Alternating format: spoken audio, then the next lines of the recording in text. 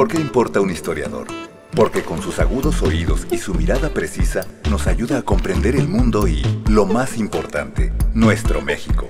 Porque mientras camina nos cuenta sobre utopías y seducciones del poder.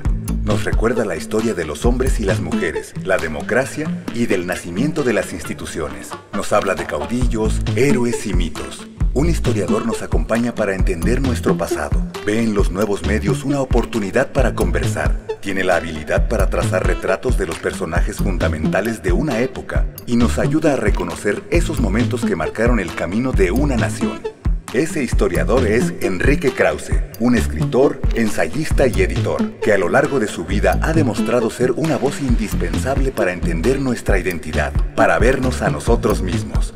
Conocer nuestra historia es muy sencillo.